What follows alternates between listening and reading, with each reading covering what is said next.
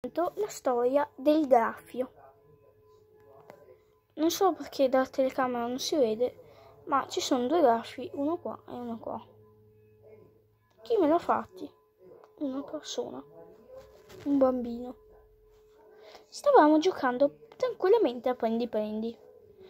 Mentre sto qua, io lo stavo, stavo salendo sullo scivolo per prenderlo, lui ha fatto... E mi ha fatto questi due graffi. Bene, le maestre si sono preoccupate neanche un po', non hanno fatto niente. Fanno schifo queste maestre, non hanno fatto niente. Però da quel giorno non ho mai perdonato. Gli ho sempre dato fastidio e gli è successo pure il karma. Più di t- tante volte gli è successo il karma a quella persona. Quindi un po' avete imparato la lezione. Quel giorno poi sono diventato anche il più forte della classe e che fino a un anno fa ero tipo il più cattivo della classe.